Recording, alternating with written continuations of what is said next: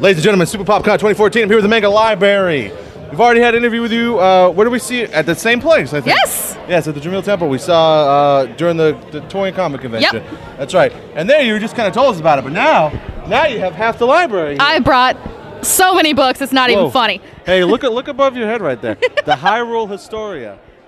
It's actually one of our most popular books. I'm just looking at Yeah, oh, sorry. Reading translate.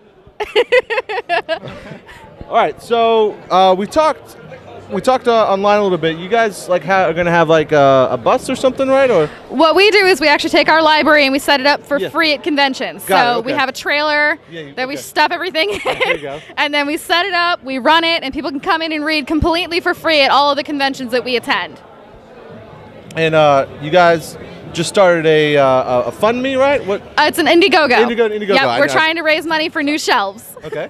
Uh, we, uh, if you look back on our page, we actually shared that a while back, so you can uh, you can check that out and help them out. Definitely help them out. Yes, please. Literacy wins over everything else. Literacy. it's great.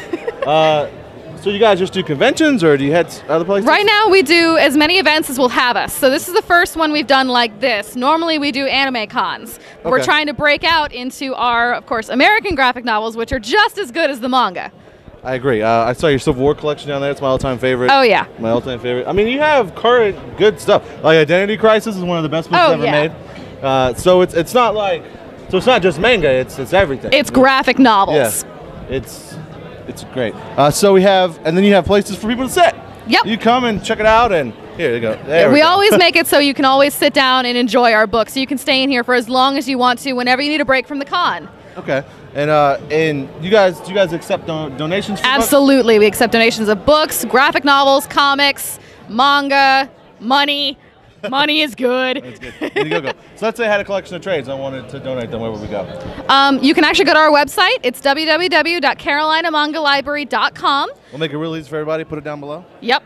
Um, right now, we don't have a main store. That's coming in a couple of years, we hope.